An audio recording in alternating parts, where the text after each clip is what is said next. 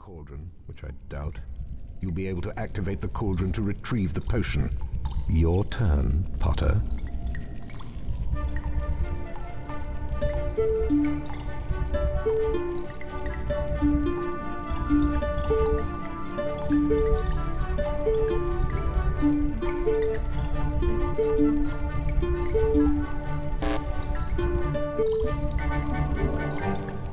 Good enough. Only a fool would expect better. Potter, I've never seen such pathetic work. Go fetch the jar of fireflies from the adjoining room. Thank you, Mummy! Feel so inadequate!